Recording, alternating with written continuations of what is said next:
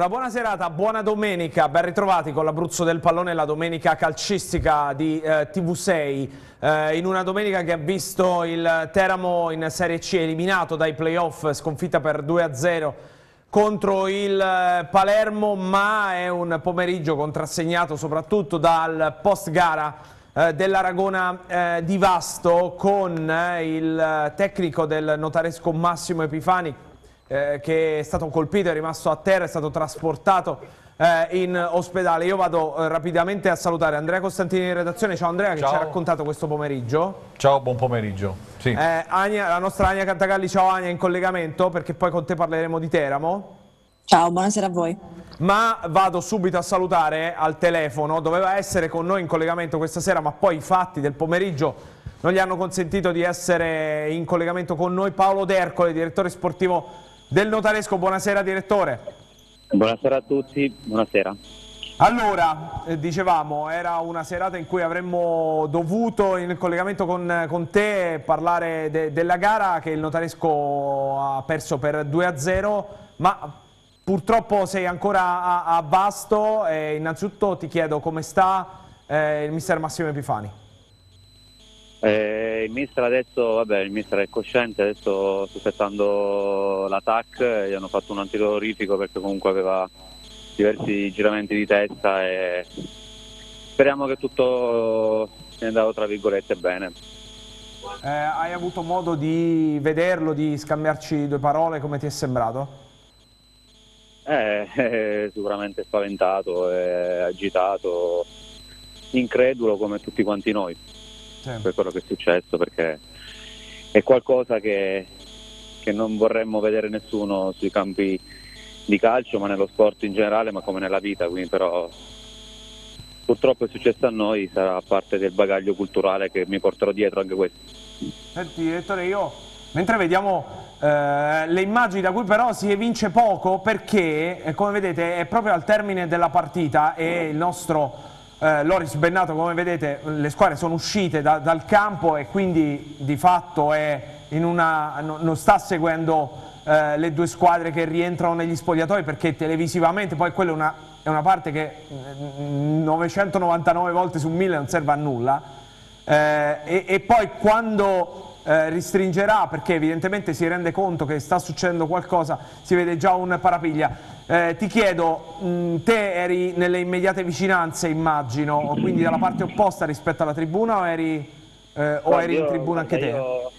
Guarda Jacopo, io ero, stavo facendo il giro dello stadio per, per andare a salutare la squadra negli spogliatoi e poi ho visto il mister a terra e sinceramente non, all'inizio sinceramente non ci ho capito nulla perché si è creato un parapiglia tra, poi tra i giocatori ma che poi sono stati tranquillissimi tutti perché hanno cercato di sedare eh, a differenza di altre persone che, che invece continuavano anziché placare la situazione e occuparsi de, di una persona a terra innocentemente perché poi è stato preso alle spalle e si è pensato, si è pensato soltanto a, a fare cosiddetti sboroni. Noi la partita sinceramente ci interessa poco perché poi la partita l'abbiamo persa e meritatamente o immeritatamente il risultato detto quello non ci cambia nulla, però sinceramente della partita in questo momento proprio non, non ho nessun interesse proprio di parlare perché non mi interessa proprio, non è una cosa che, che va oltre, noi siamo andati veramente troppo oltre la logica. Certo, assolutamente, assolutamente sì. Eh, la parte conclusiva, questo è il file che ritorna da zero, poi ovviamente questo è chiaro, se qualcuno della Vastese vuole eh, eh, volesse intervenire per commentare, per dare la, la, la, versione dei fatti, può ovviamente farlo. Diciamo, la, eh, la parte finale del file eh, l'abbiamo tolta perché, non perché si veda qualcosa in realtà, cioè si vede purtroppo eh, Massimo Epifani a terra e mm, pensiamo, almeno questa è la nostra considerazione, che una persona che in questo caso è anche un allenatore e anche, posso dire, insomma, un amico della nostra relazione a terra privo di sensi non fosse una cosa giusta da mandare, da mandare in onda. Peraltro gli facciamo davvero, eh, davvero tanti, tanti, complimenti. Eh, direttore, io insomma, ti, ti, ti ringrazio dell'intervento, di averci sostanzialmente detto che il mister, tutto sommato, al di là dello spavento, è in discrete condizioni, questo ce lo puoi confermare, vero? Eh, questo sì, se non danno altri risponsi all'attacco, però penso che stia bene, lui è forte, quindi ha la testa dura, quindi penso che si supererà anche questo, non, non è un problema. Però, però non, lasci, non lasci strascichi successivi perché comunque queste cose ti un po' spaventano perché non siamo tranquilli neanche tra società, tra virgolette a questo punto, mezzo amiche della stessa regione, o, stiamo parlando di una partita di calcio che tra l'altro abbiamo anche perso, quindi oltre ad aver perso in campo essere picchiati successivamente un po' troppo, come si dice, cornuto e mazziato, come si può dire dalle parti nostre, e, questo non, non mi sta bene, non lo accetto e spero che qualcosa si possa fare per, per punire queste, queste situazioni, che non succedano più. C'è una domanda, sì. direttore, per te da Andrea. Saluto il direttore Paolo Dercole. Eh, eh, ti chiedo, direttore, se eh, state valutando la possibilità di eh, sporgere denuncia, non so poi a carico di chi, nel momento in cui saranno un po' più chiari i fatti e poi volevo chiedere se quello che è accaduto vi porterà a chiedere il rinvio della partita eh, di mercoledì col Monte Giorgio, ora noi speriamo che il mister possa riprendersi il più presto possibile, però visto che tornerete in campo subito, in teoria mercoledì, se state facendo anche una valutazione a tal proposito. Guarda, sinceramente sulla seconda domanda non, noi stiamo, ci stiamo muovendo per cercare di capire cosa si deve fare, in questo momento il nostro obiettivo principale è sperare che il mister sia bene risolvere questa cosa a più breve tempo possibile. Per quanto riguarda la prima, ovviamente noi faremo tutto il possibile perché le persone coinvolte vengano, vengano punite perché non è giusto che nel calcio ci girino certe persone. Questo è, questo è quello che penso io, ma penso che, che non, non, c'è nulla da, da eccepire a quello che, che dico, però ognuno può anche fare le proprie valutazioni. Direttore, io ti ringrazio. Eh, e ovviamente vi auguro un buon ritorno eh, a casa e ovviamente speriamo che queste cose non si ripetano più. Grazie a Paolo D'Ercole, grazie, grazie a voi, buon e buon lavoro.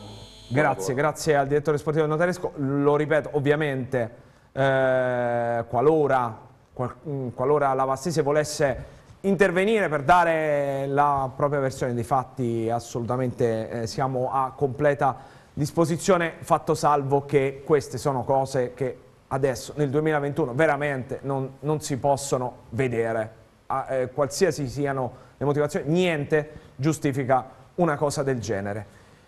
Speriamo di non vederlo più eh, non vederle più. Poi peraltro tra due società abruzzesi eh, eh, se, se, vogliamo eh, anche anche peggio.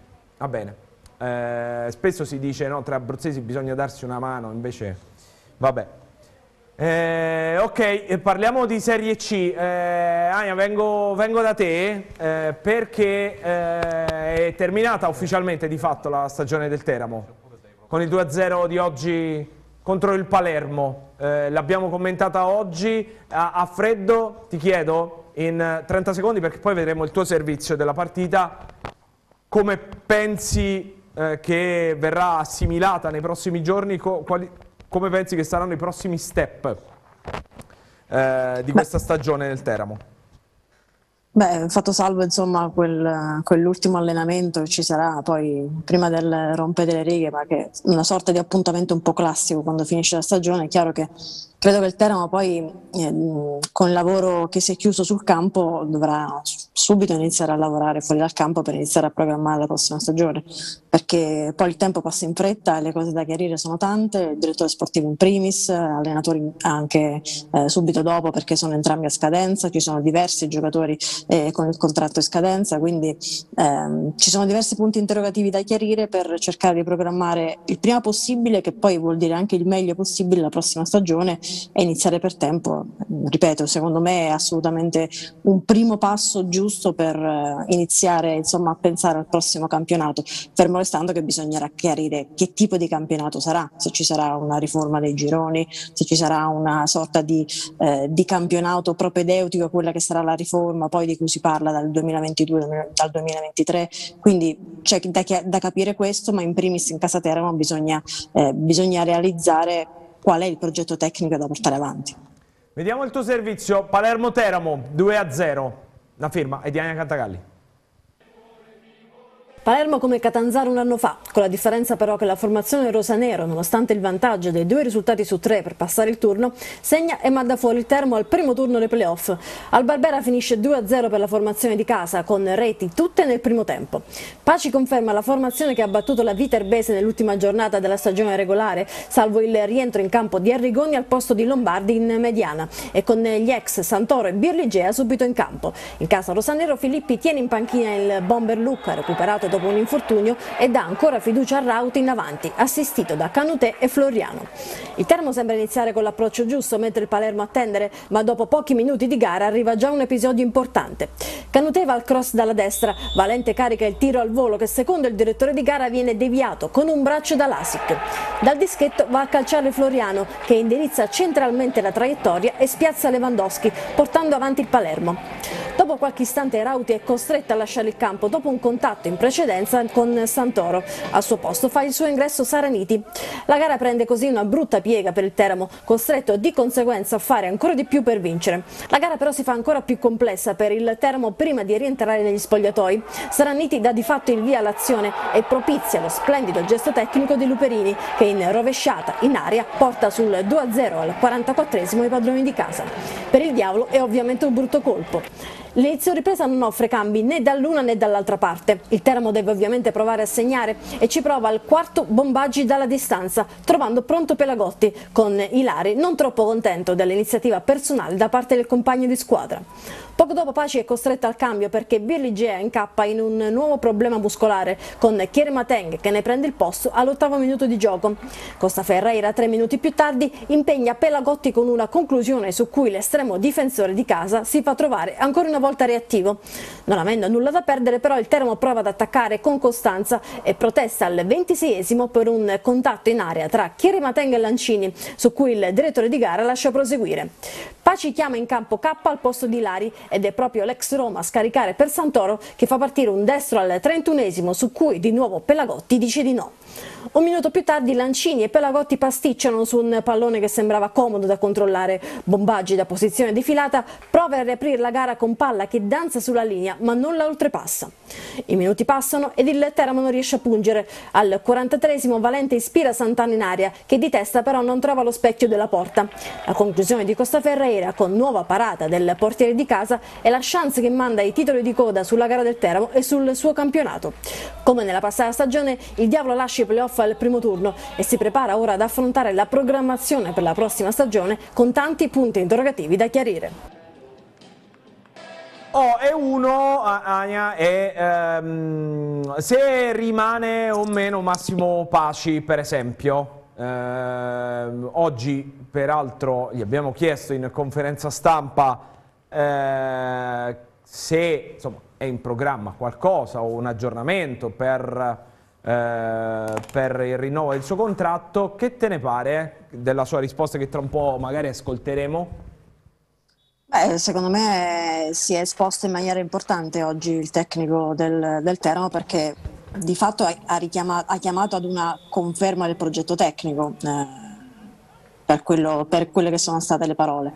Eh, un non ripartire da zero, un non eh, insomma fare un po' come ha fatto il Teramo un paio di anni fa nella, nell'avvio della gestione eh, sotto la presidenza eh, di Franco Iachini, ma dare continuità a questo gruppo cercare di confermare insomma, poi il più possibile quello che è confermabile, ma portare avanti questa, eh, questo progetto tecnico che, eh, che eh, in questa stagione eh, si è un po' più concretizzato rispetto eh, allo, allo, scorso anno per quanto riguarda insomma, soprattutto certi eh, elementi giovani. Quindi secondo me è stata, sono state parole importanti, poi se verranno raccolte o meno ovviamente lo vedremo col tempo, però è, stata, eh, è stato un mostrarsi una dimostrazione importante di, di volontà ecco, del tecnico, perché ovviamente se poi chiede la conferma del progetto tecnico di certi giocatori, implicitamente secondo me credo che chieda, tra virgolette, anche una riconferma per se stesso e per il direttore sportivo Sandro Federico.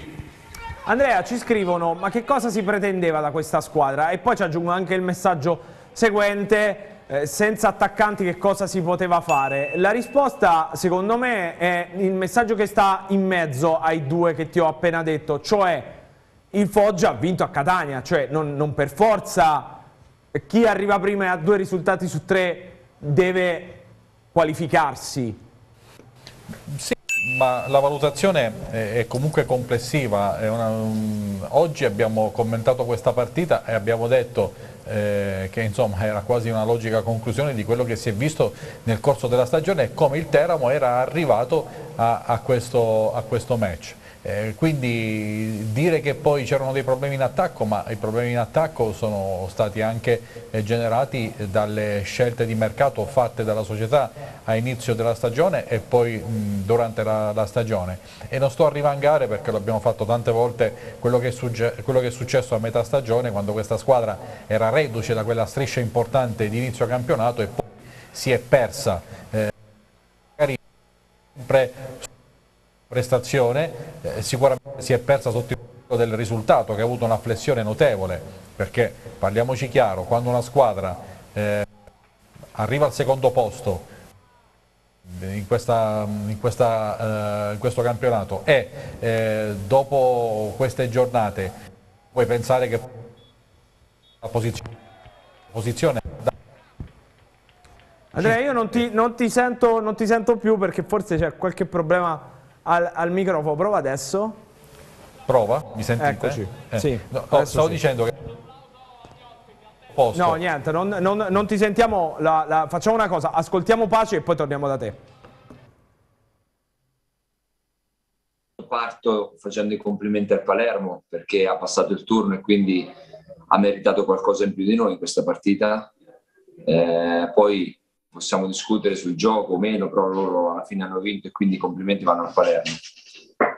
Per quanto riguarda la partita, eh, loro avevano il pareggio e la vittoria, quindi eh, per come è stata impostata la partita noi ci siamo un po' aperti perché comunque il pareggio a noi non bastava e quindi il fatto di, di, di aver iniziato con un baricentro molto alto ha aperto degli spazi che poi che poi nella prima occasione da gol il Palermo ha trovato questo rigore.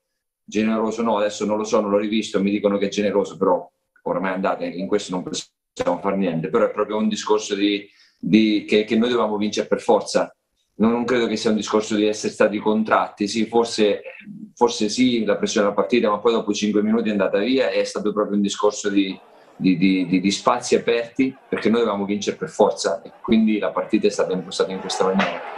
Eh, però sono d'accordo quando dici che usciamo a testa alta perché abbiamo fatto una, un'ottima partita secondo me.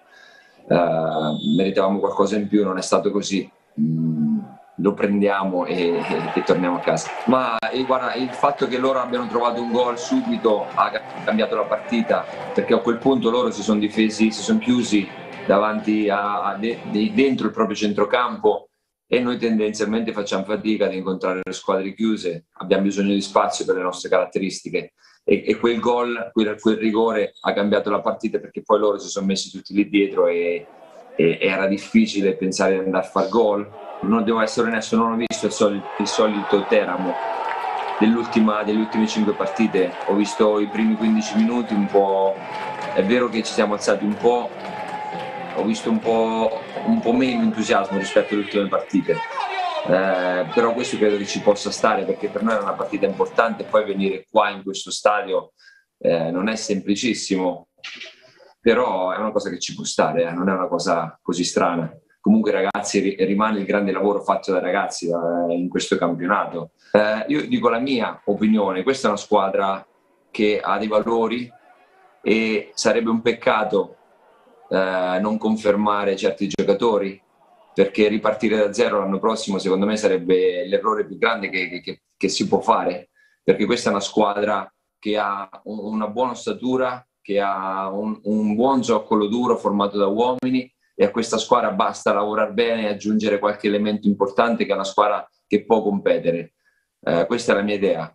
Eh, è, è, ha, anche grande, ha, anche grande, mh, ha anche grande valore umano nello staff tecnico, eh, in tutte le persone che mi hanno dato una mano quest'anno, eh, ci sono persone di, di, di grandissimo valore, ehm, magazzinieri, eh, addetto stampa, team manager, eh, fisioterapisti, insomma è, è, un, è un progetto che secondo me va mantenuto e va rinforzato perché sarebbe un peccato per quello che abbiamo costruito quest'anno sciupare tutto perché è questo il primo passo. La società sa quello che penso, ma tutti lo sanno anche perché sono onesto in quello che dico. Eh, credo in questi giocatori e credo che questa squadra, a questa squadra basti poco per migliorarla radicalmente perché quest'anno nell'esperienza che abbiamo avuto abbiamo visto che abbiamo sofferto in determinate situazioni anche per quanto riguarda la, la rosa, tutta, tutta, la rosa che abbiamo, che abbiamo sofferto e quindi eh, le idee ci sarebbero, eh, la mia considerazione, ma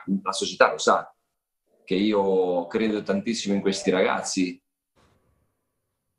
Oh, eh, Andrea, in, in, in, relazione a quello che stavi, stavi dicendo prima, io ci aggiungo quello che ha detto Massimo Paci, questa è una squadra che poi in realtà non va smantellata, basta solo implementare qualcosa. Sì. Il che vuol dire che già un po' interpreto, eh. Diciamo che già immagina un progetto anche 2021-2022 e quindi Intanto, ti faccio riprendere il, il, discorso da dove l'avevi Sì, volevo terminato. perché dicevo, quando si è al secondo posto si può immaginare anche una flessione e perdere qualche posizione, ma qui dal secondo posto si è andato a finire all'ottavo e, e, e c'è la sensazione che se si fosse fatto un mercato un po' più oculato, soprattutto eh, per le punte, se eh, si fossero gestite determinate dinamiche un po' meglio, questa squadra poteva arrivare più in alto, poteva prendere una posizione che ad esempio la mandava avanti automaticamente ai playoff, ehm, avendo già il passaggio al secondo turno, ehm, si poteva fare, eh, la squadra si era espressa a certi livelli, poi quei livelli non li ha più raggiunti, eh, quindi qualche limite nell'organico ci può stare e si poteva intervenire e poi determinate altre, altre dinamiche. Sul fatto di non smantellare siamo d'accordo, una squadra cresce con il cosiddetto progetto tecnico, ora si è partiti a Teramo la scorsa estate, eh, o meglio due stati fa, con il botto, poi si è dovuto in parte ridimensionare ma c'è un gruppo di giocatori importante se si riuscissero a tenere questi calciatori importanti e si implementasse la rosa, la squadra potrebbe ulteriormente crescere. Il problema è che c'è la sensazione che questo non avverrà, proprio perché eh, non si è lavorato in maniera adeguata sui rinnovi, perché i giocatori che sono a scadenza non hanno dato neanche la sensazione di essere stati ricontattati, magari ecco, ci siederemo a tavolino, eh, non, a, non, guardate troppo ad altre offerte, cercate insomma, di restare canalizzati mh, su, sul Teramo perché qui ci sarà il vostro futuro. Se, se si sentono le dichiarazioni dei giocatori non c'è questa sensazione, quindi se dovessero andare via diversi calciatori che sono a scadenza questa squadra andrebbe, non dico rifondata, ma in buona parte ristrutturata, quindi se non si dovrà ripartire da zero si dovrà comunque ripartire facendo dei passi indietro rispetto al livello che si è raggiunti in questo momento. Poi si poteva fare meglio? Probabilmente sì, però si può crescere partendo da questa base ma ripeto, la sensazione è che per vari motivi questa base non sarà la stessa in vista del prossimo anno. Assolutamente, intanto prima avete visto un messaggio del Presidente Bolami che però ho avuto modo di contattare eh, via sms, interverrà appena terminiamo la pagina dedicata a Palermo Teramo, eh, ovviamente la prima partita che vi mostreremo è Vastese Notaresco e eh, insomma eh, ecco perché ho detto bisogna sentire le due campane, sì, eh, noi cerchiamo di farle sentire tutte e due e quindi dopo la parte dedicata alla Serie C eh, il servizio di Vastese Notaresco, con noi al telefono ci sarà il presidente eh, della Vastese Franco Bolami. Eh, tornando per un attimo al discorso di Andrea, ah, ci hanno scritto invece qualcuno, un tifoso, che invece l'ha visto come una conferenza stampa di commiato. Io devo dire la verità, a me invece non è sembrata proprio così, nel senso che è sembrato più quasi voler dire voler eh, tracciare le linee programmatiche della scorsa stagione direttamente in conferenza stampa con un buon margine di anticipo, cioè cara società sappiate che questa è una buona squadra, che abbiamo fatto un, mm, un, ottavo posto, che abbiamo lottato nella prima parte di stagione con le grandi, sappiate che per migliorarla non ci vuole tantissimo. Secondo... Comunque l'abbiamo sì, rivisto il, il secondo gol, eh, per rispondere al telespettatore da casa, non è fuori gioco. Ania.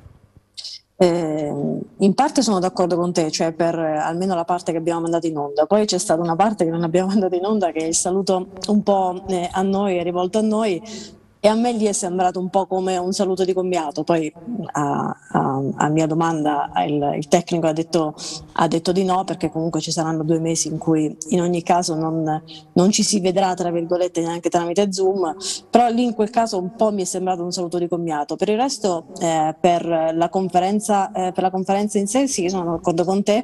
E mi è sembrato un po' un invito eh, alla, alla, programmazione, nel senso un, un invito palese alla programmazione perché se è vero che Pace insomma, ha già palesato queste, eh, queste volontà alla società, pubblicamente quest'oggi ha detto per me, per come la vedo io, si può continuare a lavorare bene, si può continuare a crescere con questa squadra, ovviamente parlando di chi dobbiamo rinnovare, di chi eh, non dobbiamo rinnovare, cercando anche di implementarla in determinati, in determinati ruoli o far crescere ancora di più alcuni giovani. Quindi Paci immagino che abbia voluto dire questo è il mio pensiero per cercare di continuare a fare bene, magari l'anno prossimo migliorare questi due ottavi posti eh, che sono arrivati al termine della stagione regolare e poi anche il, l'uscita al primo turno eh, playoff sia quest'anno che l'anno scorso. Eh, il progetto tecnico tra l'altro è questo, cioè portare avanti determinate, mh, determinate idee, determinati ehm, pensieri, progettualità per un certo numero di anni, perché poi implementando mano a mano la rosa possa effettivamente riuscire magari a, ad arrivare a grandi risultati.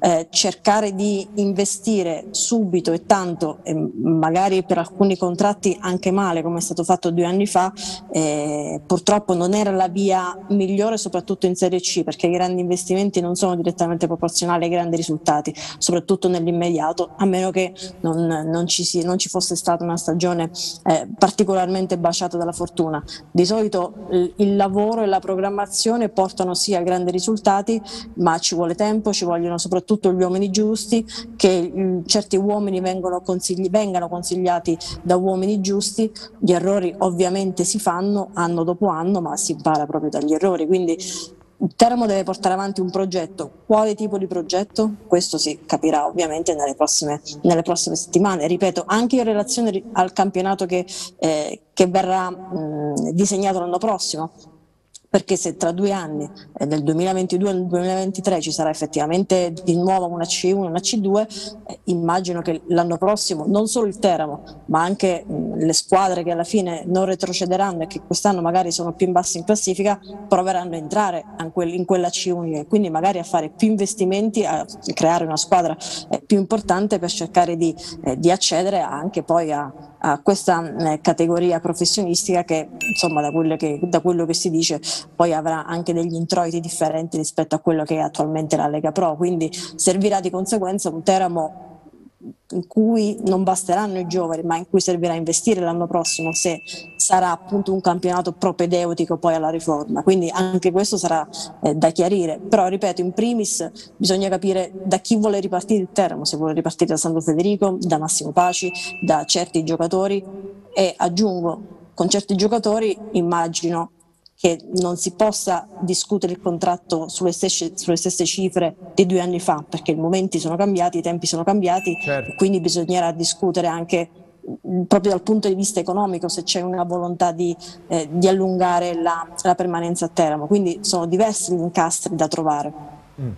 La sensazione, almeno a, a, a, sentire un po' quelle che sono state le parole di Paci oggi, eh, Andrea, eh, insomma è per una sostanziale conferma di, di larga eh, parte del, del, gruppo perché sa perfettamente che eh, dovesse essere lui confermato si ritroverebbe altrimenti a dover ripartire da capo, con un nuovo gruppo, è come se avesse voluto lanciare un segnale, non smantelliamo questa squadra, magari correggiamola, poi economicamente bisognerà, come diceva giustamente Ania, rivedere qualcosa, perché è chiaro che i contratti dell'anno prossimo non potranno essere come quelli di due anni fa, se non, non fosse altro che per la pandemia è sconvolto il mondo, certo. però Ma allora... è sembrato un po' Intanto Paci, se dovesse ripartire eh, facendo dei passi indietro, nel senso che la squadra sarà cambiata eh, di molto, dovrà metterci qualcosa di suo,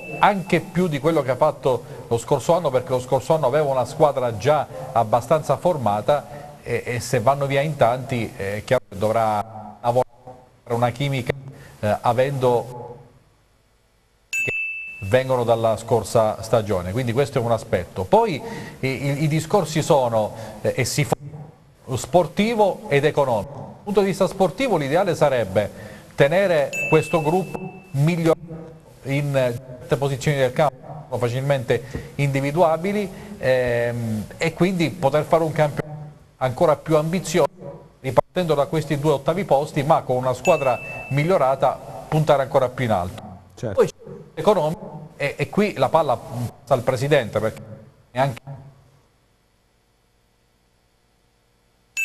Eh, purtroppo non ti sentiamo di nuovo più.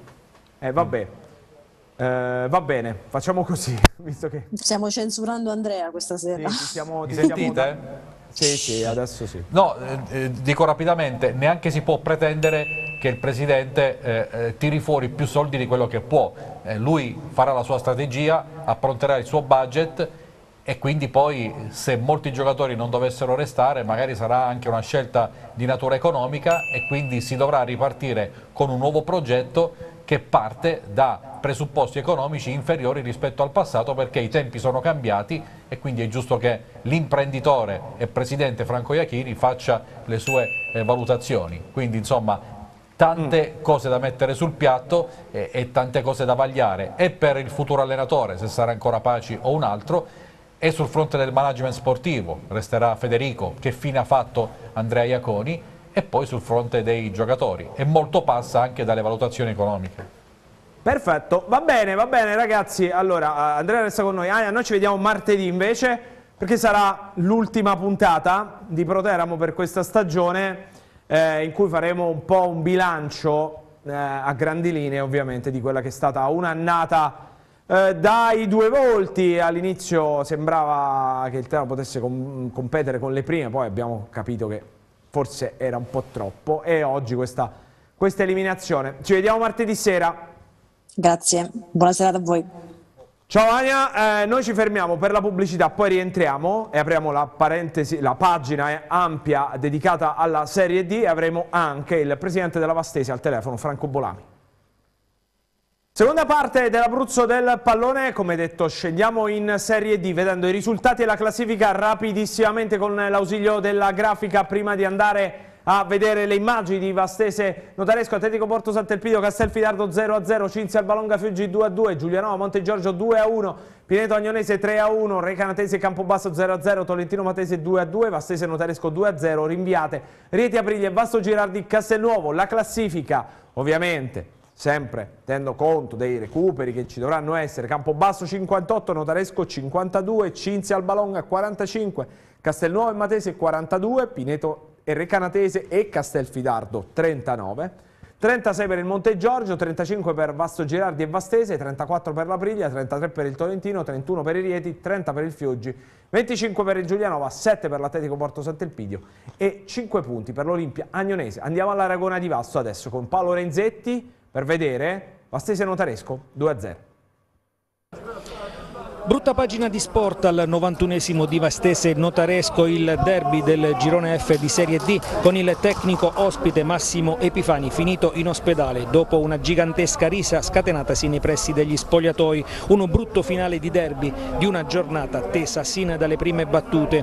In campo vince la Vastese che supera con il più classico dei risultati la formazione rosso-blu che vede sempre più lontano il primo posto. All'Aragona è stata sfida senza esclusione di colpi fra i locali decisi a blindare blindare la salvezza e gli ospiti intenzionati a non perdere ulteriore terreno dalla capolista Campobasso. Alla fine l'ha spuntata la squadra di casa che vede la salvezza ora molto più vicina. Avvio equilibrato con una maggiore pressione ospite. All'undicesimo Marchionni dai 20 metri mette al lato con Di Rienzo che era comunque sulla traiettoria. La squadra di Epifani prova a fare la partita ma la Vastese chiude tutti gli spazi. Il match non regala grandi emozioni fino al ventottesimo quando Marchionni prova il gol della domenica ma Di Rienzo si supera e salva. Gli ospiti premono con più decisione con la squadra di D'Adderio pronta a ripartire in contropiede come accade al 41esimo dopo una leggerezza di speranza con Martiniello che poi in aria mira al primo palo trovando la risposta di Sciba. Si resta però sullo 0-0 con i locali ancora minacciosi al 45esimo con un diagonale di Martiniello che fa terminare la sfera di un soffio al lato. Nel secondo tempo ospiti in campo con Sorrini, Bonavoglio e Palumbo al posto di Di Stefano, Blando e Bana. In campo però nella prima parte di ripresa accade davvero poco fino al nono quando Martiniello per la Vastese in area di rigore gira a rete con la parata del portiere del Notaresco. La squadra ospite non ci sta e si butta in avanti al quattordicesimo punizione di Acquadro con la respinta difficoltosa di Di Rienzo e con la palla che termina Ulcese che trova ancora la risposta del portiere prima della conclusione di Palumbo. Passa un minuto e tocca a Marchionni provarci con un tiro cross che crea ancora apprensione in area aragonese. Si dispera in panchina il tecnico rossoblu Epifani con la sua squadra che alza il baricentro, mentre al diciassettesimo ci sono però le proteste locali per una caduta in area notareschina di Mamona con Borriello di Arezzo che lascia proseguire. Gara che finalmente si ravviva con la Vastese che però non sta a guardare. Al diciannovesimo ancora Mamona mira l'incrocio ma mette fuori mentre al ventunesimo ci prova Di Prisco di testa con Sciba che respinge. Al venticinquesimo ancora una sostituzione nel notaresco con l'ingresso in campo di Dos Santos per Olcese. Al ventisettesimo però è ancora pericolosa la squadra di D'Adderio con Monza che in area scarica su Sciba che salva ancora. Fioccano ora le occasioni dall'una e dall'altra parte con il punteggio che resta sullo 0-0 fino al 36esimo quando a spezzare l'equilibrio ci pensa Mamona che fa tutto da solo entrando in area dopo una sgroppata prepotente e mettendo di potenza il pallone alle spalle di Sciba e facendo esplodere la gioia dei suoi compagni. Vastese in vantaggio e formazione ospite che non riesce a reagire e così al 42esimo di Prisco con la complicità di Sciba raddoppia regalando così alla Vastese il 2-0 ma soprattutto tre punti pesantissimi in chiave salvezza. Per il notaresco un brutto colpo che non sarà semplice da smaltire, poi il brutto finale che nulla ha a che vedere con lo sport. Servizio confezionato in maniera impeccabile dal nostro Paolo Renzetti. Diamo la buonasera a Stefano Recanati. Ciao Stefano. Ciao a tutti, buonasera. Tra poco veniamo da te. In collegamento il presidente della Vastese Franco Bolami. Buonasera presidente. Buonasera, ciao Jacopo. Buonasera a tutti. Ben risentito. Eh, oh, eh, abbiamo letto il tuo messaggio, tu come sai, eh, insomma io nella prima parte eh, ho detto ovviamente che se la Vastese a qualcuno del, della società aragonese avesse voluto chiarire l'accaduto qui è assolutamente eh, a disposizione. Oh, ehm, è il tuo di, lavoro Jacopo, dici, è normale. Di, di, dici eh, la versione della Vastese, Presidente. Ma la mia versione, è normale quando si perde e la squadra è stata, cioè parti 2-0, convinti che loro vengono qua a basso a vincere la partita, la, la perdi, c'è un po' di nervosismo, eh, a fine gara e dopo che si aprono i cancelli c'è stato qualche spintone ma niente di che, di, di calci, cazzotti, non esiste proprio una cosa del genere. Sono stati dei spintoni normali perché può capitare dopo una partita tesa, un derby e loro volevano vincere, noi altrettanto, ma nulla toglie che c'è qualcosa di grave, cioè dispiace per il mister, ma sei anni di presidenza non è mai successo niente a basso, perciò non vedo, non vedo questa polverina che si è acceso qui a basso, anche se all'andata loro sono comportati molto male con il direttore sportivo è stato assalito da alcuni tifosi in tribuna, ma nulla toglie dal di fuori dal campo. Abbiamo vinto una partita meritata, faccio i complimenti alla squadra e non ho niente da replicare perché non ho, non ho visto eh, situazioni vergognose eh, da parte mia. Dopo, se loro la pensano diversamente, c'è l'abito, ci sta un, eh, un referto, vediamo cosa dirà, però non, mm, per me io sono tranquillo perché non è certo niente di, di, di, di, strano, dei spintoni normali, è normale che uno perde eh, un derby, ma succede oh, quasi ogni domenica. Tutto qua, Jacopo. Eh, Presidente, dal, da, dall'SMS che ci hai mandato prima e anche dalle, dalle tue parole, insomma, mh, traspare il fatto che comunque ci fosse il precedente dell'andata, che poi ricordiamolo è un doppio precedente, perché ci fu prima il rinvio causa infortunio dell'arbitro e poi il recupero dove ci fu l'episodio del rigore eh, assegnato alla Vastese che però era fuori area. Ecco, mi pare di capire che No, eh, Jacopo, fosse... non è- guarda, Jacopo, si perde e si vince il pallone, non è, non è questo il risultato. Cioè, però Che- era una che cosa che si trascinava dal- No, dalla gara di andata. No, no, ma oltre dentro al campo e fuori dal campo, che loro sono comportati molto male, ma non è, cioè, non è quello il problema che io mi, pongo. Il problema è che oggi loro venivano, pensare di recuperare Aragona, una squadra morta, di fare la partita di vincere, hanno, hanno incontrato una, una partita forte, forte, molto determinata e purtroppo eh, forse avranno perso il campionato perché sono a sette punti, sono un po' nervosi, però non, eh, cioè, sono- ci sono le telecamere, ci sono- c'è tutto da Sì. rivedere, perciò io sono Sì, sì. tanto tranquillo perché non, non mi preoccupo perché Poi, sono poi ovviamente, faccio- come hai detto giustamente te, eh, ci sarà il referto arbitrale che insomma dirimerà la questione. Noi adesso ovviamente Ma io, come no? Noi io devo dire la verità, devo dire la verità e passo la parola ad Andrea se hai una considerazione per il presidente Bolami. In quel momento specifico io ero in conferenza stampa con Massimo Paci nel post gara di Palermo-Teramo. Quindi devo dire la verità, io ho saltato a pie pari proprio almeno una mezz'oretta che è quella che serve eh, per la conferenza stampa, per le domande e quant'altro. Massimo Paci, quindi eh, Andrea, non so se hai una considerazione, una domanda per il Presidente. No, ehm, io saluto il Presidente. eh, Ciao, Andrea, tu- tu- tutto sta eh, a capire cosa è successo. Eh, io penso che eh, quello che è accaduto nella gara d'andata oppure oggi il Notaresco pensava di vincere, lì- sono tutte determinate cose. Io a un certo punto oggi ero in diretta, mi sono ritrovato a un certo momento eh, ne- nelle immagini Massimo Epifani steso eh, davanti agli spogliatoi, eh, non so, o, o- o ha simulato oppure è successo qualcosa, c'è un refetto dell'arbitro, magari il Presidente non era presente, però eh, le immagini che abbiamo visto non sono edificanti e quindi penso che insomma eh, Presidente qualcosa sia, sia successo e non è stata una, una bella pagina quella che si è scritta Ma questo pomeriggio. Poi, Andrea, sicuramente non è stata una bella fase, però c'è un referto dell'ospedale, aspettiamo il referto. Però Certo, io certo. vedo e ho, ho- ho visto che cioè, non c'erano né calci né punti, c'è stato i spintoni alla fine della partita perché ci può Certo. stare nervosismo, apri cancelli, ci può stare, ma non è che il mister me lo auguro che ha 8 punti, 10 punti, 3 punti, non c'è niente di che per me. Aspettiamo il referto, però come ho detto e come ho visto, cioè non c'è stato niente di preoccupante. Lui stava, stava disteso per terra, forse ha accennato un po' la caduta, ma dal referto vediamo che è successo. Però io dico che mh, non ho visto azioni brutte, altrimenti chi, cioè, non- dopo sei anni che faccio vedere, mai abbasso, non è successo niente. Che mai successo niente e non succederà mai questa cosa del genere, perché prima per me è l'educazione. Si vince e si perde. L'educazione. E ti faccio un riferimento anche alla- al loro giocatore, al portiere. Cioè ha risposto al nostro giocatore facendo anche un brutto, un brutto gesto. Cioè un giocatore, il portiere, Sciba. E io mi sono anche un po' alterato con lui. Perché tu fai, fai il giocatore, rispondi, fai un, un gesto brutto. E là eh, mi ero molto partito. L'educazione per me è la prima cosa, dopo l'altro, le altre cose per me vanno a morire, per me, come passi di calcio, Presidente. Presidente eh, Andrea, se hai qualche altra No, io, curiosità, io pre- altrimenti... prendo atto- noi dobbiamo prendere atto di Sì. quello che dice il Presidente Lavastese che è, è- è la massima espressione della, Certo. eh, della- della società.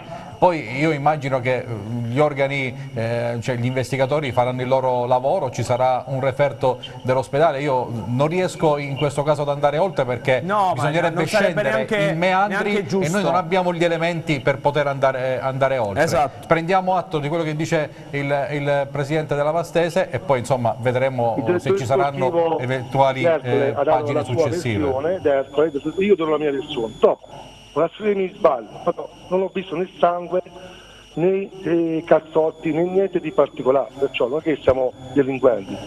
È normale che dopo una partita, un derby, c'è la tensione, ma qualche spindone è normale, capita, non ci nascondiamo. Però non è che ci siano i cazzotti, sangue, punti all'ospedale, cioè queste cose non esiste proprio. Perciò hanno perso una partita, la, loro pensano di venire più a basso a vincere facilmente, hanno incontrato una base cinica forte e l'abbiamo dimostrato. Tutto qua.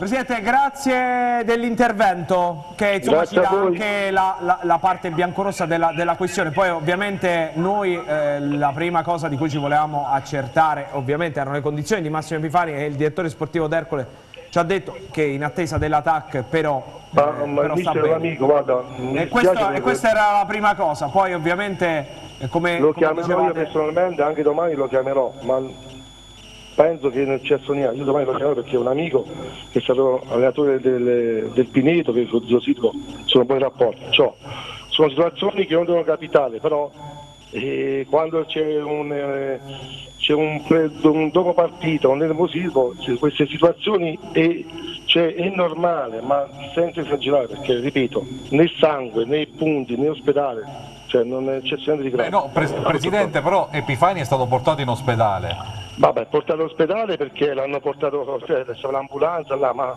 vediamo il referto che succede. Andrea, cioè io dico che mi portiamo il referto perché, ripeto, si è allungato per terra, per me. Cioè, se avesse avuto un contatto brutto, io penso un cazzotto, c'è un livido, c'è un'ammaccatura, ci sono dei punti, perciò aspettiamo, io non voglio mettere mano avanti, tutto qua. Va bene, eh, Presidente, grazie dell'intervento. Sono a disposizione qualsiasi cosa. Una buona serata, grazie al Presidente Grazie della Vastese, grazie. Franco Bolami. eh, insomma, noi, come giustamente diceva Andrea, noi non è, non- non- non è- io non ero lì, Andrea non era lì e, e- e anche Paolo purtroppo, perché poi nel post, post gara eh, ci sono state telefonate, ma il problema è che la troupe, eh, siccome era appena finita la partita, la troupe è ancora sugli spalti e quindi poi Stefano tu mi insegni che per raggiungere la, per raggiungere la sala stampa bisogna fare il giro e quindi è anche lontano, quindi era difficile. Si passava anche in mezzo al De- in mezzo al campo. adesso giro. bisogna fare bisogna di fatto passare sotto la Davalos e quindi è anche non si ha testimonianza diretta. Comunque staremo a vedere. Eh, la nostra è- voleva essere completezza di informazione sentendo la parte notaresco soprattutto per le condizioni di Massimo Ivani e poi la parte aragonese. Per il resto Andrea eh, ti chiedo, poi ascolteremo da Derio che parla, però ha voluto parlare solo della partita. Ti chiedo se eh, tu avevi detto che la Vastese stava facendo dei punti importanti in ottica eh, salvezza. Questi sono pesantissimi. Adesso restringiamo il campo veramente ai 90 minuti. Eh.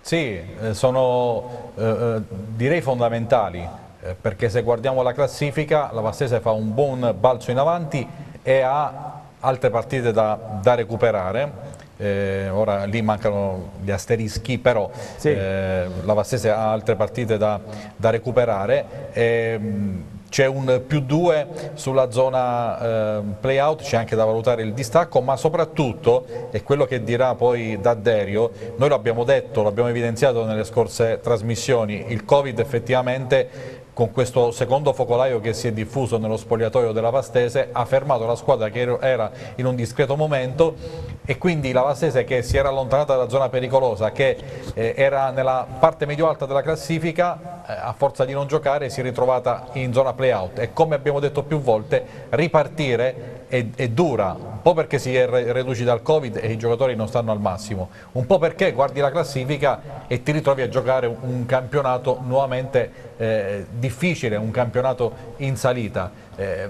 quindi aver pareggiato ad esempio a Campobasso, aver vinto di misura ad Agnone, aver compiuto oggi, eh, aver vinto la partita di oggi, eh, sicuramente sono dei segnali di, eh, diciamo così, di, di riscossa della, della squadra che sta cercando di mettersi alle spalle un periodo duro, anche perché quando la Vastese è tornata a giocare ha perso in casa col Matese e quindi quella sconfitta poteva aprire scenari peggiori. Invece poi la squadra ha saputo reagire ehm, ed ora insomma la classifica non è tranquilla, non è tranquillizzante, ma è sicuramente molto migliore rispetto a un paio di settimane fa. Assolutamente sì. Ci ascoltiamo le parole di Fulvio D'Adderio eh, al microfono di Paolo Renzetti, poi rientriamo perché dobbiamo vedere le immagini della vittoria del Giuliano. D'Adderio.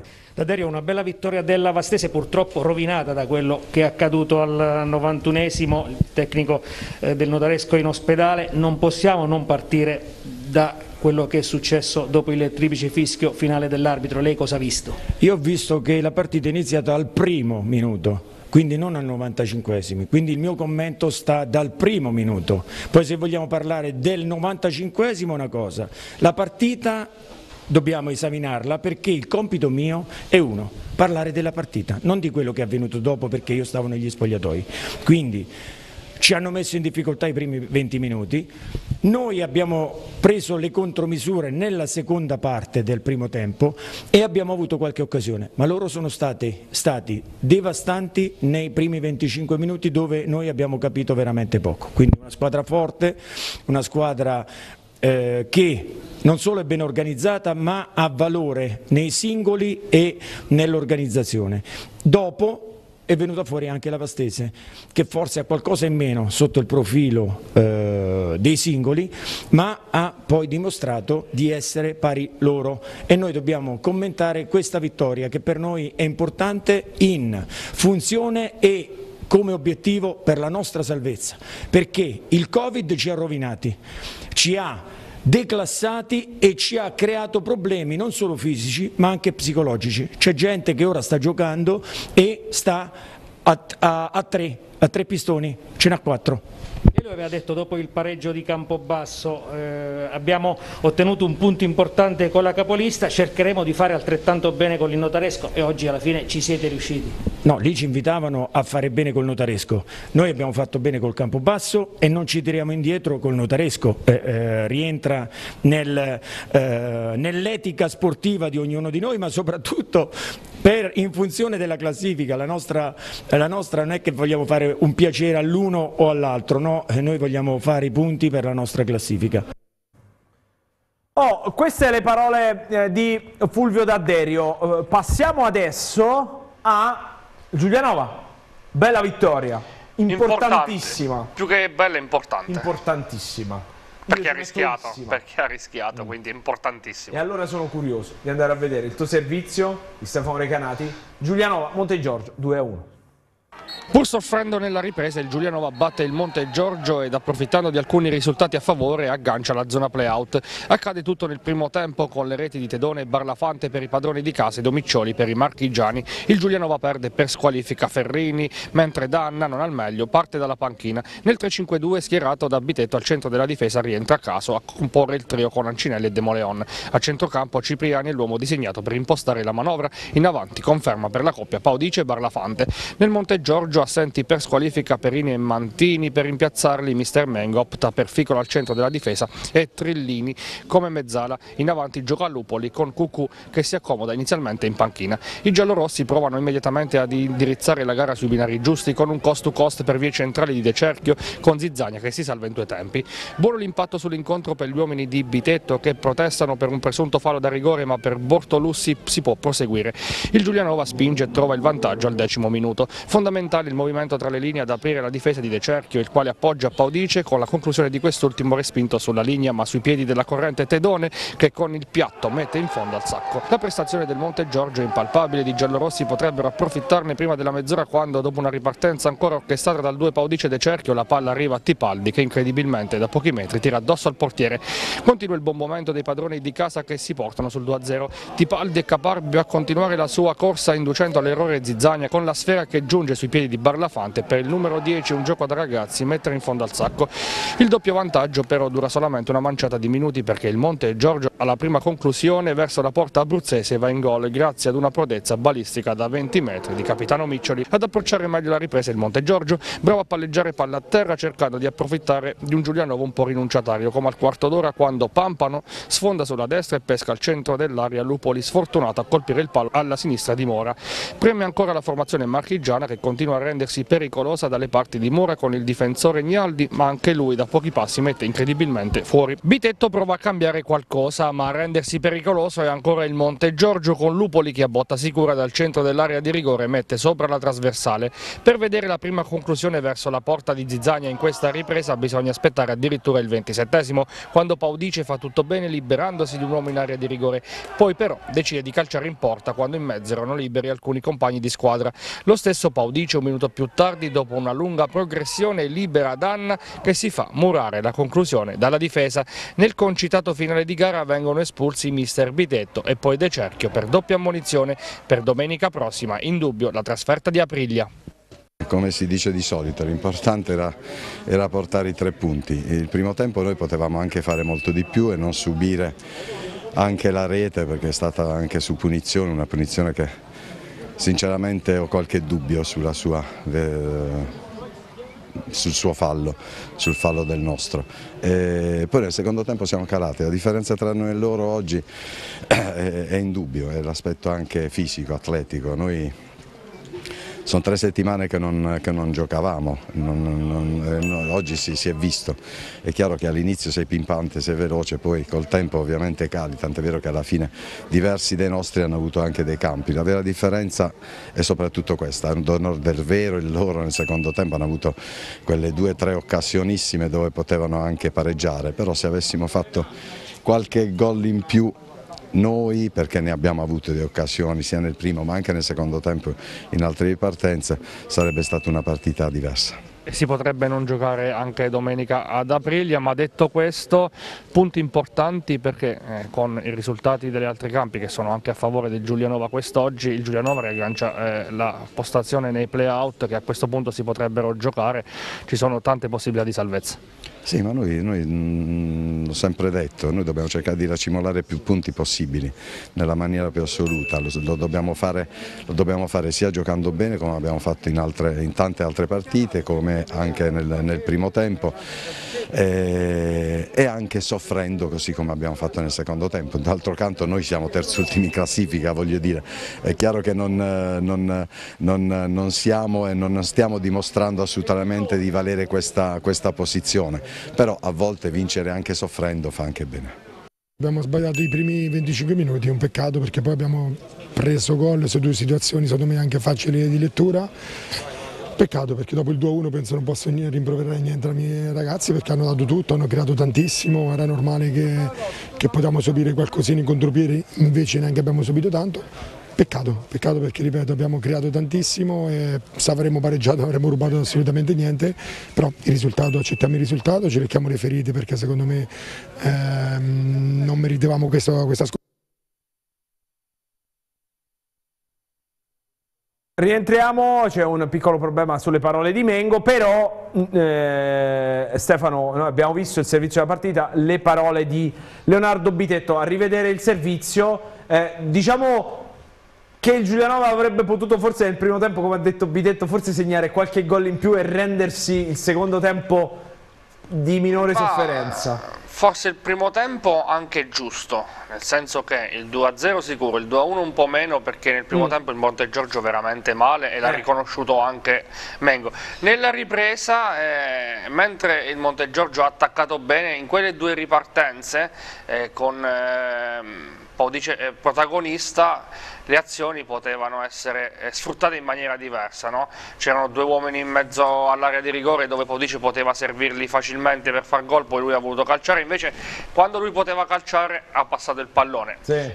Quelle, que, su quelle occasioni forse eh, mister Bitetto recriminava un po', però ha detto la verità, no? quando noi siamo terzultimi in classifica non ci si può aspettare che giochiamo un calcio da, da protagonisti, a volte nelle partite sporche è anche bene vincerle.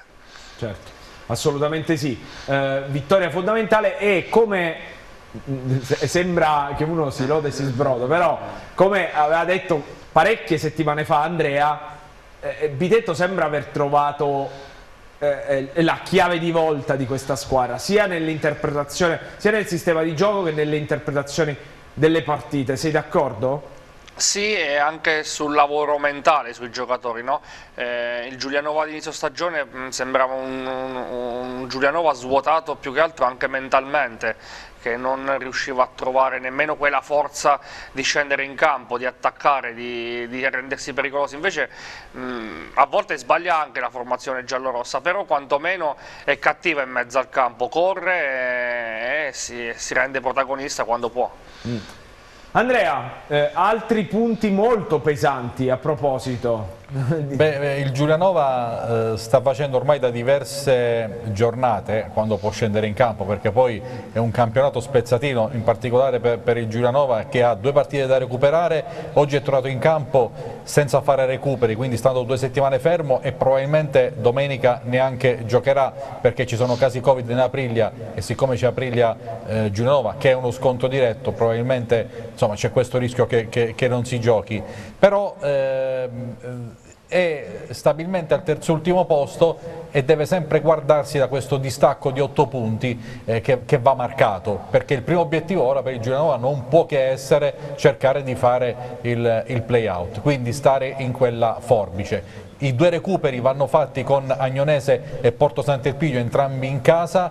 Se fossero sei punti sarebbe una gran cosa, ma abbiamo visto oggi il Porto Sant'Elpidio dopo aver vinto la prima partita pareggiato col Castelfidardo, l'Agnonese ha, ha, tolto due punti a, a, al Pineto nella gara recuperata tempo fa, quindi sono gare che andranno uh, giocate e vinte uh, sul campo, però ora il Giulianova deve essere concentrato su questo tipo di obiettivo, se poi le cose dovessero andare particolarmente bene, però le partite cominciano a essere eh, poche, magari si potrebbe anche pensare a una salvezza diretta, ma è molto difficile. Diciamo che il primo obiettivo è fare il play out, poi se si presenterà l'opportunità cercare di rimontare su Rieti e Fiuggi che sono lì davanti al Giulianova per prendere anche il fattore campo. Bisogna ragionare per gradi perché purtroppo la classifica continua a essere eh, una classifica da, da terzultimo posto. La, la, vediamo la classifica con l'ausilio della grafica Stefano? Sì, ma bisogna attendere anche il comunicato della Lega per quanto riguarda le retrocessioni perché sì. dei playout ancora sappiamo niente.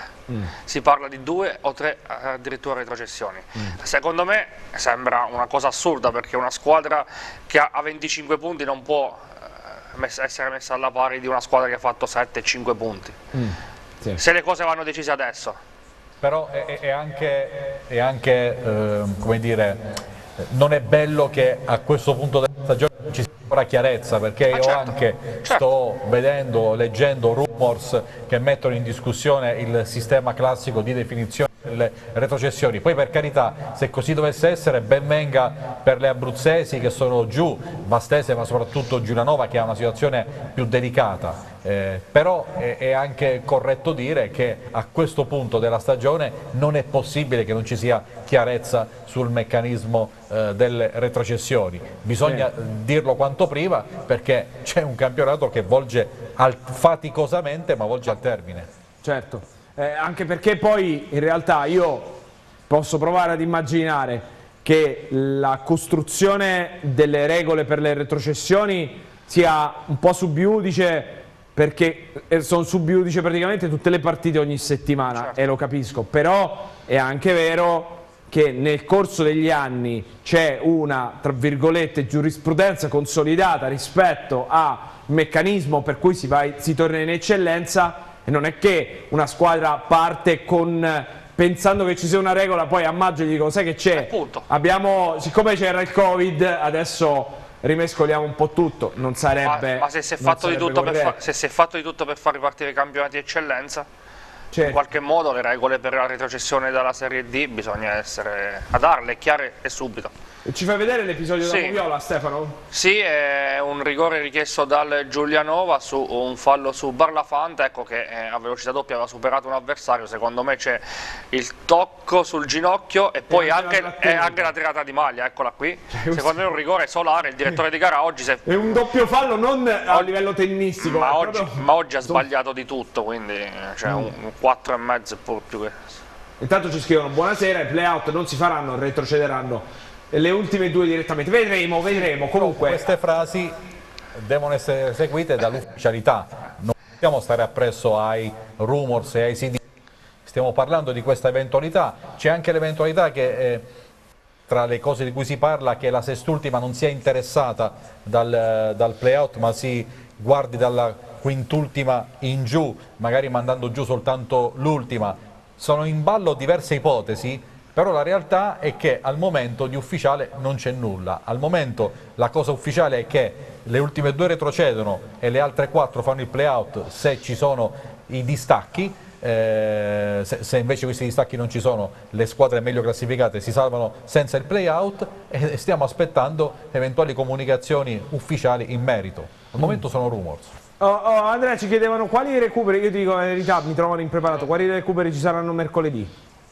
Eh, per le abruzzesi Vastese Castelfidardo e Notaresco Montegiorgio, Pineto Castelnuovo, lì no, Stefano magari ci credo. può aggiornare. Ma no, ti posso aggiornare perché ho sentito oggi pomeriggio la società, eh, manca solo l'ufficialità che arriverà domani per il rinvio della gara. E poi martedì giro di tamponi, se tutto va bene si, poi rifaranno i tamponi venerdì se, se un'ulteriore nota positiva, cioè quindi le cose vanno bene, si gioca contro la Vastese, altrimenti domenica. domenica altrimenti slitta anche quella partita. Quindi certamente recupera la Vastese, recupera il Notaresco, non il Pineto, con Pineto Castelnuovo. Castelnuovo no. Poi eh, vado a memoria, c'è anche Porto Sant'Elpidio Rieti. Mm. Eh, probabilmente c'è anche un'altra partita, ma adesso mi sfugge. Mm. Assolutamente sì. Va bene, va bene. Stefano, grazie. Eh, grazie eh, spegniamo due parole positive per Mister Pomante. Ha raddrizzato una stagione positiva con un grande lavoro. Forza Pineto, resta con noi perché adesso parliamo proprio del Pineto di Marco Pomante che ha vinto anche oggi con l'Olimpia Agnonese. Il servizio è di Roberta Di Sante che tra poco avremo in studio. Dopo appena dieci giorni dal recupero della gara di andata, Pineto e Agnonese si ritrovano di nuovo una di fronte all'altra in una gara che mette in palio punti importanti per entrambe. Uno squalificato per parte nelle due formazioni, nell'Agnonese non c'è Caputo, fermato per due giornate dal giudice sportivo, al suo posto a difendere i pali della porta granata Carriero, fermato Galeano nel Pineto, sostituito a centrocampo da Baldinini, assente anche l'infortunato Esposito a dettare i tempi a centrocampo e Paoli con Minincleri che agisce tra le linee. In Molisani ospiti partono subito forte e sfiorano il vantaggio dopo appena 9 minuti dal fischio d'inizio di Liotta di Castellammare. Pesic pesca Sapone in buona posizione, l'aggancio e la girata del numero 9 che fa tremare il palo. Brividi per i padroni di casa che rischiano anche al tredicesimo quando Sapone in versione assist man trova il filtrante per Amaia ma Mercorelli riesce in qualche modo a disinnescare. La gara si sblocca al minuto 14 grazie al lampo di Minincleri che riceve da Romano e con una gran botta da limite batte Carriero per l'1-0 pinetese alla prima vera occasione per i biancazzurri.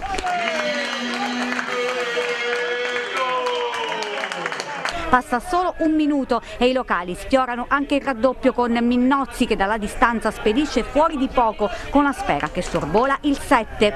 Il Pineto cresce e sembra poter controllare disinnescando le fonti di gioco molisane al 33esimo ancora Minnozzi questa volta su punizione sfiora il palo. Si va così al riposo sull'1-0 ma in avvio di ripresa dopo neppure un giro di lancette l'Agnonese riporta il risultato in parità sfruttando un disimpegno errato della difesa biancazzurra sul quale si avventa a Mosù che di controbalzo supera Mercorelli e fa 1 a 1.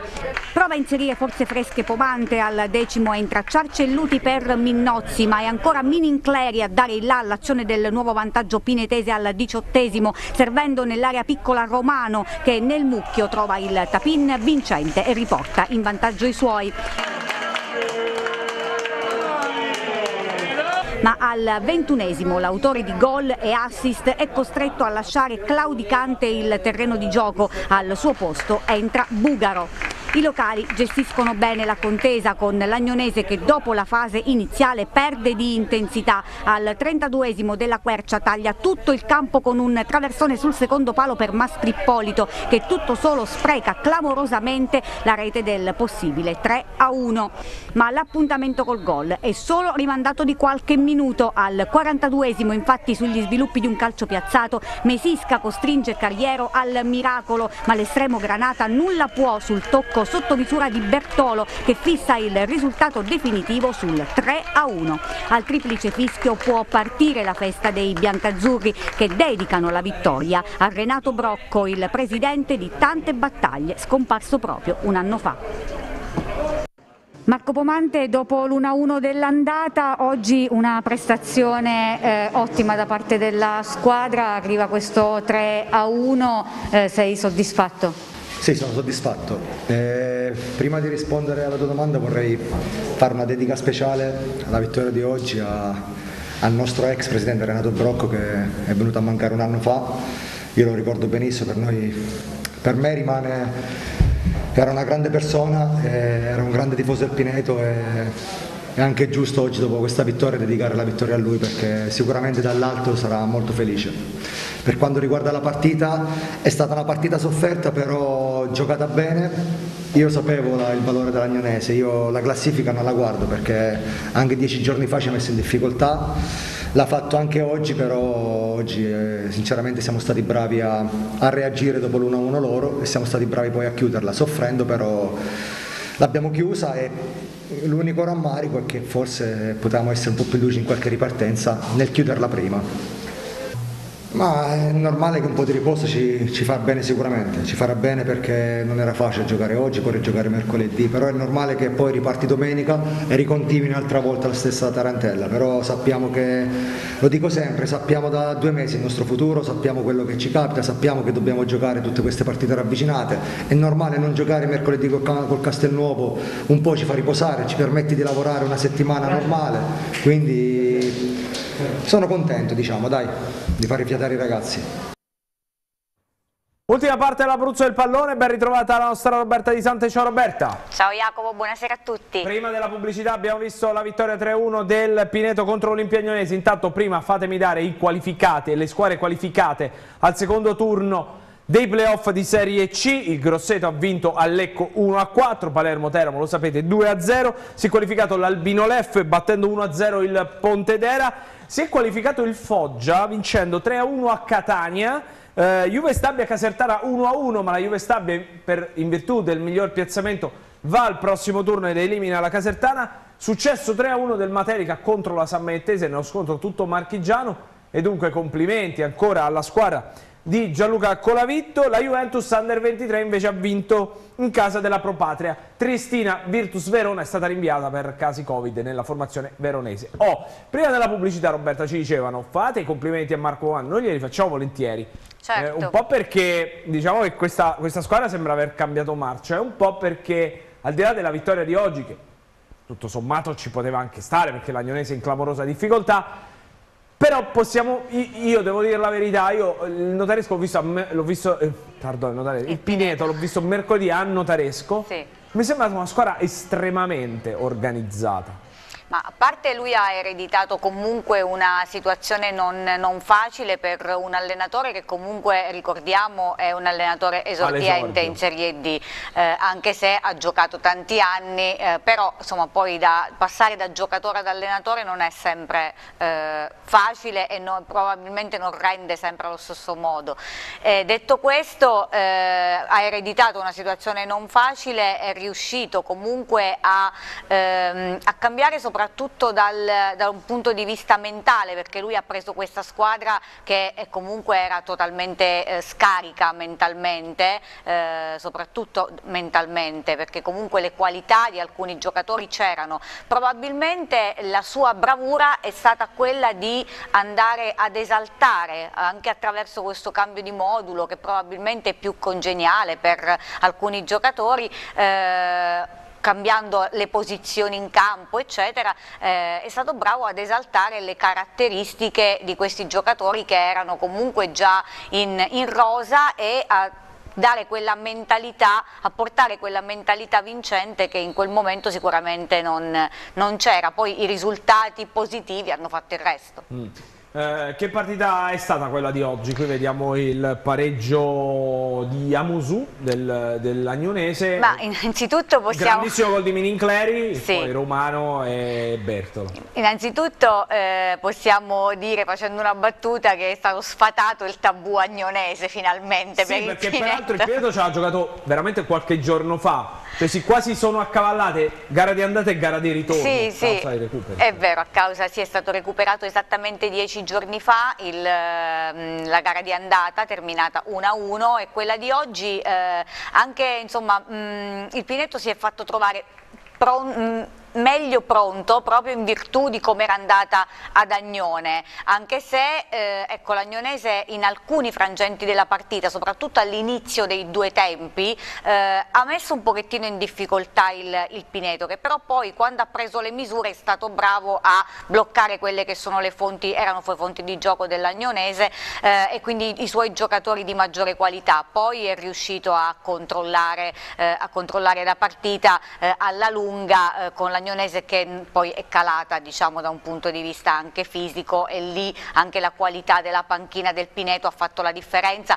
E, e poi c'è stato ecco, il solito, il solito Minincleri, quando non c'è Minnozzi c'è Minincleri, quando non c'è Minincleri c'è Minnozzi, questi due giocatori, quella, quella questi due giocatori stanno diciamo, risultando assolutamente fondamentali nel corso di queste partite, oggi un'altra grande prestazione di Simone Minincleri che grandissimo gol. Ha fatto un gran gol e ha fatto anche l'assist del secondo, del secondo, purtroppo però poi è uscito, eh, è uscito anzitempo dal, dal, terreno di gioco, eh, Pomante ha parlato di, di crampi ma eh, spero non ci sia qualcosina eh, a livello muscolare perché insomma era uscito claudicante dal terreno di gioco, mi auguro eh, nulla eh, di particolarmente importante per lui. Assolutamente, noi glielo auguriamo, ci ascoltiamo le parole poi, del Presidente Brocco? Poi sì, perché c'era anche questa dedica particolare. Sì, c'era la dedica particolare a Renato Brocco che è l'ex presidente del, del Pineto che proprio un anno fa veniva a mancare e quindi Insomma, giustamente... Tutta la società ci teneva molto a certo. dedicare questa vittoria a un, un, grande presidente che devo dire la verità ha dato, ha dato tanto a, a, Pineto e alla Pineto Calcio dedicando il suo tempo e il, insomma, tanti anni della sua vita. Una dedica sacrosanta. Ci ascoltiamo invece le parole dell'attuale presidente Silvio Brocco. Presidente Silvio Brocco, possiamo dire finalmente sfatato il tabù agnonese, avevi predicato concentrazione, dopo l'1-1 dell'andata è arrivata questa bella vittoria, sei soddisfatto oggi della prestazione? Sì, io sono molto soddisfatto, al di là della vittoria, comunque vedo ecco, domenica in domenica oppure ogni partita che affrontiamo veramente una squadra determinata una squadra di valore, eh, c'è rammarico perché sicuramente insomma, per tutte le situazioni negative che abbiamo, che abbiamo subito potevamo sicuramente dire anche noi qualcosa di più. Ci credi ancora nei playoff? Beh, se i playoff eh, si dovessero fare, perché no, dobbiamo, è un obiettivo eh, che comunque è legittimo raggiungerlo, poi vediamo, vediamo sul campo. La famiglia Pineto Calcio ci teneva particolarmente alla vittoria di oggi perché oggi eh, il Pineto Calcio ricorda uno dei suoi grandi presidenti e eh, la vittoria è sicuramente dedicata a lui oggi. Sicuramente, è totalmente dedicata a Renato, il nostro eh, grande, grande amico, storico, eh, nonché appassionato, passionale del Pineto, lo ricordiamo sempre con grande piacere e chiaramente quando vediamo le partite la domenica ci manca la sua figura, la sua persona, eh, nonché la sua presidenza storica, quindi eh, noi più giovani come dirigenti, come presidenti abbiamo preso tanto da loro, da Renato, da Don Peppo, da tutti quelli che sono stati veramente dei grandi del Pineto Calcio. Andrea, vengo da te in 20 secondi, insomma il momento del Pineto molto positivo, bisogna dire come ha detto Roberta che con questo schema, i tre dietro, poi i due esterni eh, e poi si può giocare un po' modulo fantasia perché Minnozzi, Minincleri eh, davanti ai Romano, puoi anche eh, schierarti, fargli fare lavoro sporco, lavoro sugli esterni, venire in mezzo al campo, è una rosa come hai detto più volte molto ampia che però può anche interpretare sistemi di gioco in maniera differente. Sì, però ha trovato questa strutturazione eh, che eh, ha, ha, dato grande equilibrio e grandi risposte, sia in termini di solidità, sia in termini di produttività offensiva.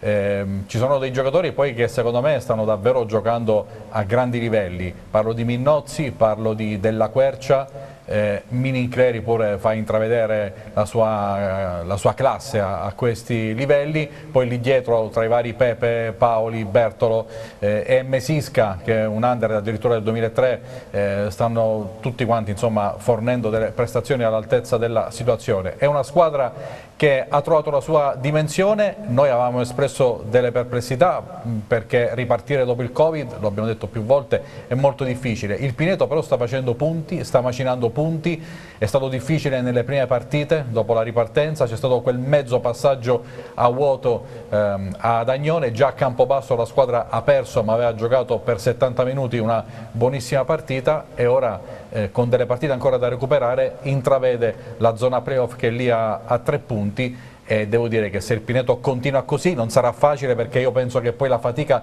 si farà sentire, però se continua così i playoff li potrà fare e gestire la fatica eh, è possibile grazie alle ottime rotazioni che sta facendo Marco Pomante che anche da questo punto di vista è stato molto bravo a imbroccare eh, queste rotazioni che fanno sentire tutti sul pezzo, tutti coinvolti, eh, non ci sono mugugni e poi quando si va in campo si fanno delle prestazioni importanti eh, e questo è, un aspetto probabilmente uno dei più determinanti della gestione di Pomante. Buonasera, ma il Pineto non era partito per vincere il campionato, la squadra ce l'aveva, vabbè, poi sono successe tante cose, all'inizio è andata male, ci si è fermati per il Covid. Cioè... Ho anche detto prima, no? Giocatori c'erano anche, anche, prima, lo stavo dicendo sì, proprio sì. pochi istanti fa, però magari ecco, con, con, questo nuovo modulo e con la, la nuova interpretazione probabilmente eh, Pomante è riuscito a eh, mettere maggiormente in risalto quelle che erano le caratteristiche dei giocatori che ovviamente sì, c'erano, poi alcuni sono arrivati dopo. il Pineta agganciare i playoff in 10 secondi perché devo chiudere? Secondo me se, se, continua così con le partite da recuperare, tra l'altro eh, eh, manca Castelnuovo, eh, Vasto Girardi, eh, no, aspetta quante ne sono? Due o tre, c'è una terza che adesso mi sfugge Mm, però secondo me assolutamente, assolutamente, sì, il Pineto è a quota, è a quota 39 e a questo punto eh, tra l'altro c'è anche questo scontro con il Castelnuovo che eh, non si, manca l'ufficialità ma non si giocherà, eh, dico anche un'altra cosa, il Pineto stava cercando di eh, poter disputare un altro Sono dei recuperi. recuperi. ma purtroppo è andata a finire, diciamo, non si giocherà perché le altre squadre con cui il Pineto deve recuperare sono anch'esse impegnate impegnati a cominciare dalla Vastese. In per altri cui, recuperi. In altri recuperi. Oh, eh, per una settimana però Pomante, Pomante benedirà il però Pomante era felice sì. magari una fa una settimana standard Va sì bene. fa una settimana di allenamento diciamo normale eh, ecco. beh, infatti era contento su eh, questo, questo. in realtà sì. il Pineto doveva fare fino al 19 maggio eh, partite ogni tre giorni poi è saltato già un recupero e con l'Agnonese ha giocato avendo una settimana piena e poi non è andata granché bene e ora salta anche questo recupero e quindi avrà nuovamente una settimana piena. Quindi due settimane piene in un momento in cui la squadra avrebbe dovuto giocare sempre una volta ogni tre giorni fino al 19 maggio. Ci chiedevano di Vasto Girardi di Campobasso, non si sa perché non è stato ancora calendarizzato quel recupero. Il Vasto Girardi avrà una partita da recuperare anche il 19 ma non sarà con il Campobasso. Grazie Andrea per essere Ciao stato con noi. Grazie Roberta. Grazie. Ci vediamo prestissimo. Ciao a tutti. Grazie a Maurizio da Queen regia, grazie a tutta la squadra di TV6, tecnici, eh, giornalisti e quant'altri. Assolutamente siete fantastici. Noi ci fermiamo. L'Abruzzo del pallone torna settimana prossima, domenica 19.30 sul canale 14 del Digitale Terrestre. Buona domenica.